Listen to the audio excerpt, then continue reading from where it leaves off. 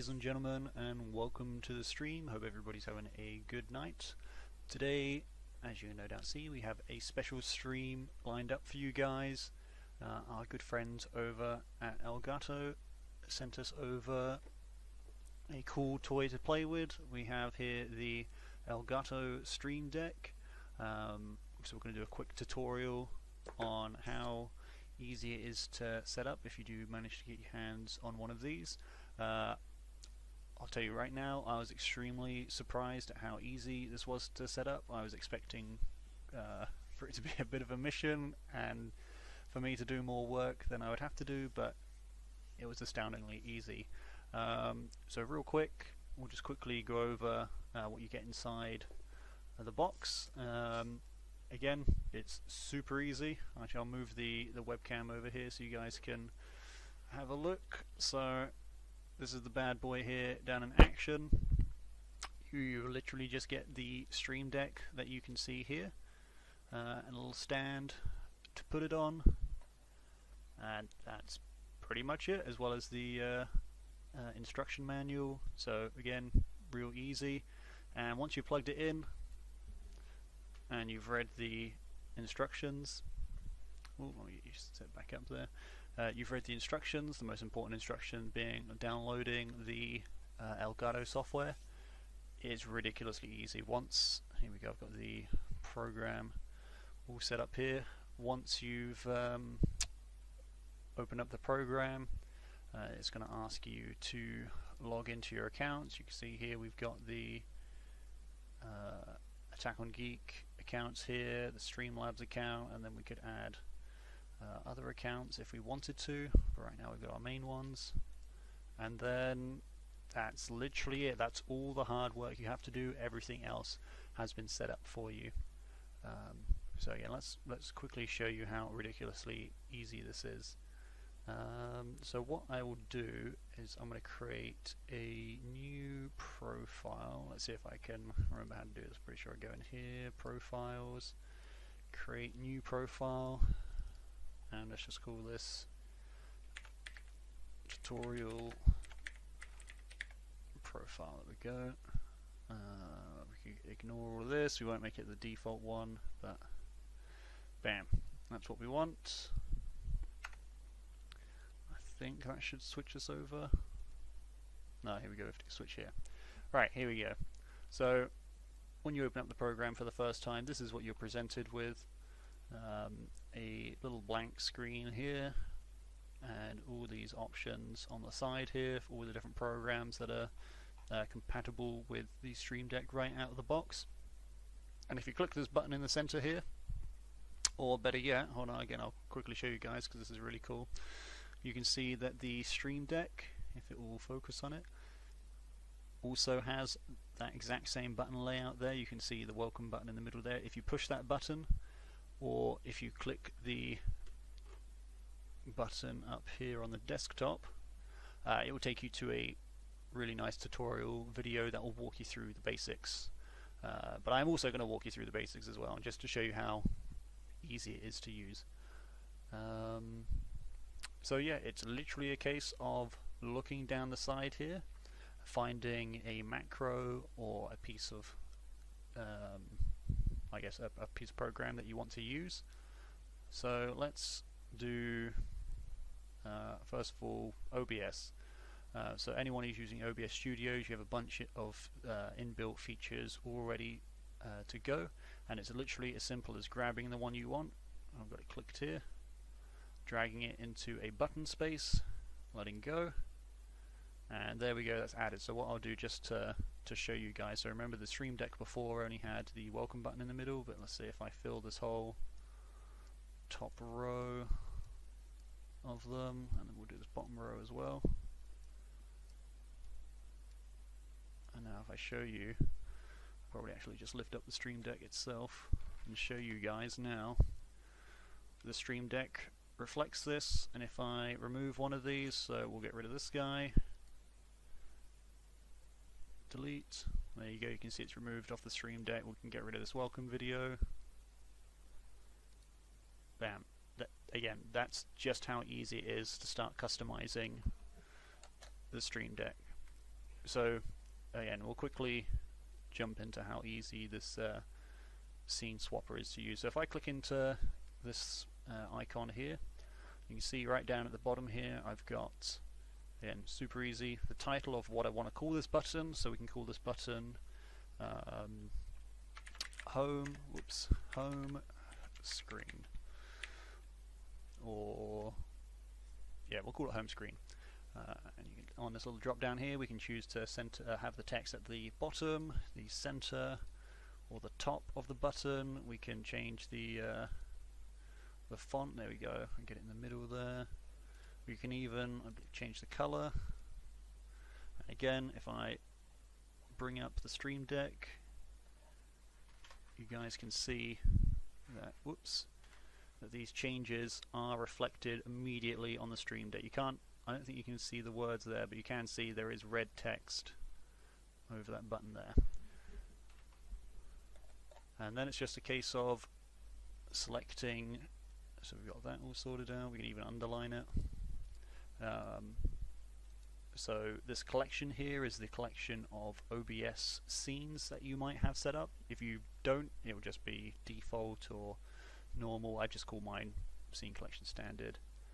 Uh, and then it's just a case of selecting which uh, scene we want. So if I set up my intermission scene here on this one, uh, I'll rename that BRB screen and then we can call this one uh, main gaming screen. So that's the screen that you guys can currently see me on at the moment. We'll call this main screen.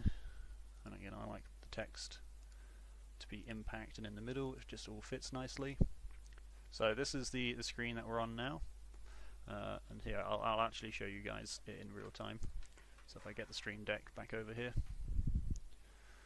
So right now you can see the highlighted button on the second one there is uh, lighter than all the others. That's to show that that scene is the one that's activated.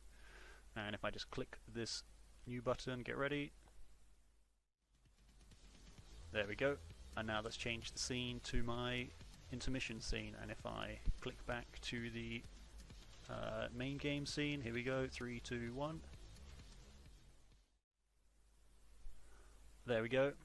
And it, it's literally as easy as that. I didn't have to do any other setup. I didn't have to uh, link the two programs together. Literally all I had to do was install the Stream Deck program, open up OBS, and that was it. Really, really easy to use. Um, now, obviously, some of you might be thinking, "Oh, Tom, there's only let's see, one, two, three, four, five. There's only 15 buttons on the screen, uh, and I got a lot of features that I want to do. How how am I going to get all my buttons on here? Well, there's a cool fancy feature called move to folder. So if I click this here and move the BRB screen, so you can see now it's opened up another panel.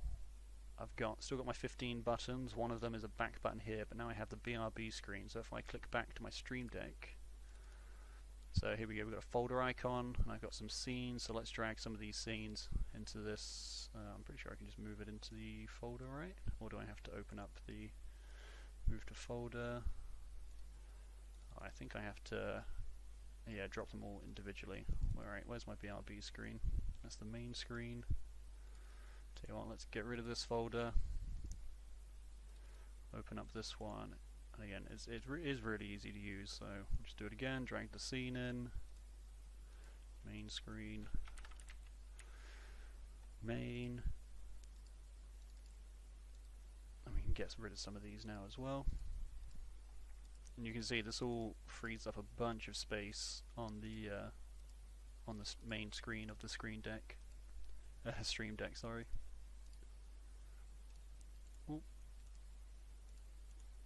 All right. So now, if we have a look at the stream deck, I'll bring it up for you guys to have a look at. so now we've got the single folder button, which matches what we have on the program. If I press that, there we go, it opens up the folder and gives me my two streams and once again all I've got to do is press the button and it will flip me between the two scenes and flip back, uh, whoops, with this one. Now, if I do want to get out of this folder, again, I don't have to click anything on the computer. I just press the button on the Stream Deck, and it will take me back to the main menu of the Stream Deck. Again, I can't stress how easy this is to use. Um, let's show you some other cool things that we had set up earlier on as well. So, you can do simple things like play some audio.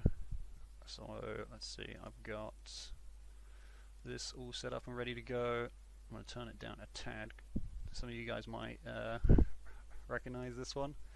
So again, got a new button on my Stream Deck that's popped up. I'm going to press it. Three, two, one.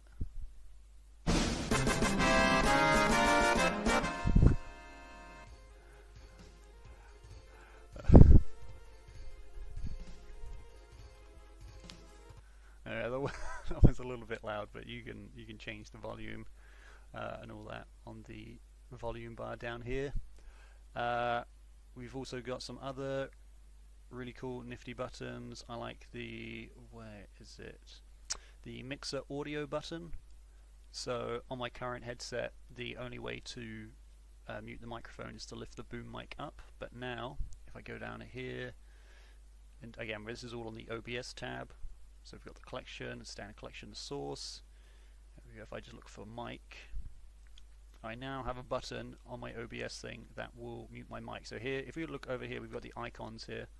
So this is when the uh, button is active, and that's what it looks like when it's deactive. So again, I can press a button, you'll watch it change, and then um, you'll see I won't be able to speak, so I'm just going to press the mute button.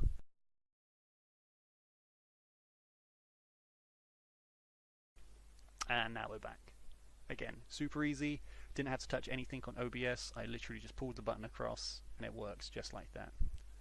Um, now, some of the other things you guys have no doubt seen as well. So again, I'll quickly go through some of the other things. So we've got Streamlabs, we've got OBS, we've got little tools that we can do on um, the Stream Deck itself. There's Mixer integration, so really important one for Diana and I is the uh, create clip one which is again really easy to use. We just press the button and it will record, uh, the last 30 seconds for us. It does look as well like we can uh, change the timers, so that'll be cool. We'll definitely be using that. Uh, what else? Uh, so if you're using the Elgato capture card, it has um, integrated functionality with the Elgato game capture program. Again, super easy to use. All you got to do is drag the icon across. So let's flashback recording, uh, and then all you need to do is just make sure we launch the program, Game Capture Launch, and it will all work nice and easy. Uh, what else do we have? So I've gone through those. So Streamlabs. I think we have the spin wheel functionality set up. Uh, let's have a look. So Attack on Geek. Yep, I think I've already got this all set up. So if I bring up the wheel, I can now just press the wheel button. One, two, three.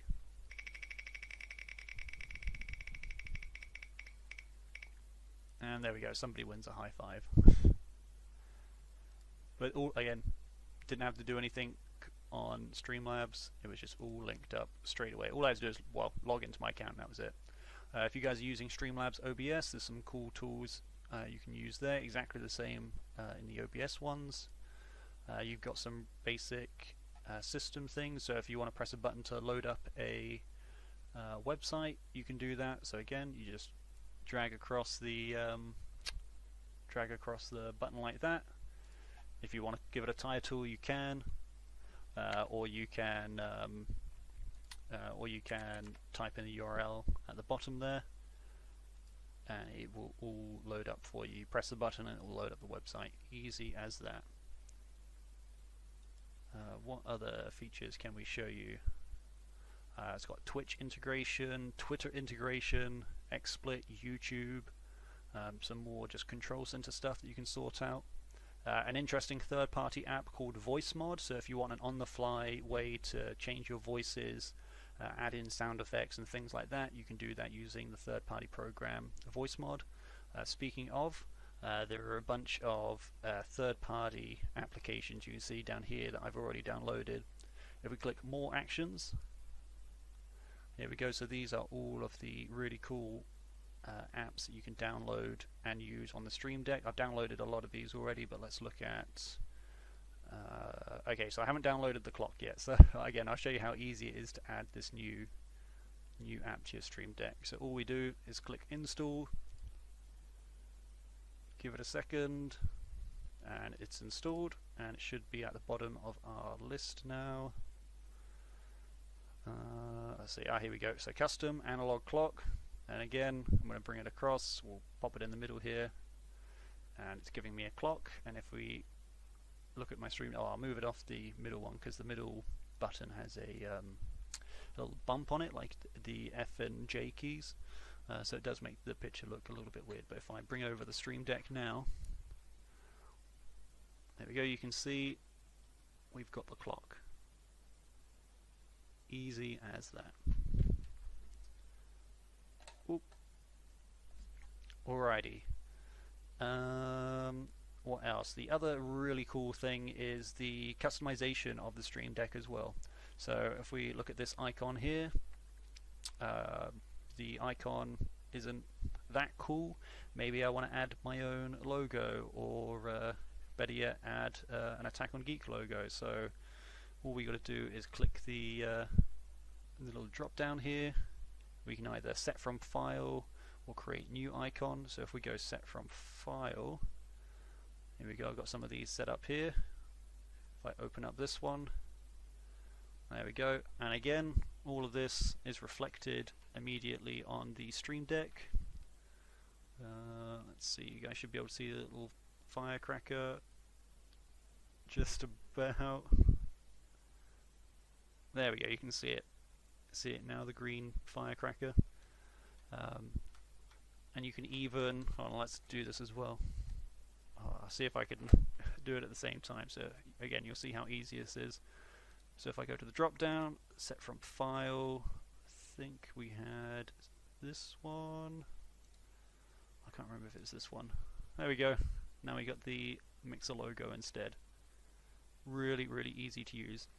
Also, if you're so creatively inclined, there is a really awesome uh, icon creation tool that uh, Elgato have provided. All you got to do is click on the little drop down, click on create new icon, and it will load up a this website right here. You can see I've already been uh, working on some. So you've got it's basically if you've ever used any uh, design tools before super easy to use. So you can see you've got a logo that I can move about. I've got some layers. Uh, let's quickly clear all of this. So let's say we wanted to make a um, a new sound effect thing. So let's have a look. So we've got a bunch of different preset icons that we can use down here. Um, first of all we can give it a new background color. So let's make that I don't know a nice red. Uh, and then we can pull on here we go a celebration thing. We can maybe resize this. Just have it up here and then we can add in who knows another one. Yeah, I'm not I'm not very creative. But this is how easy it is to use. Literally just drag and drop. Um, what else? We can put in here we go, we'll put in the middle.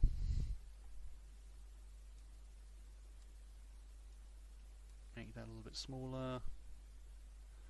Put that there.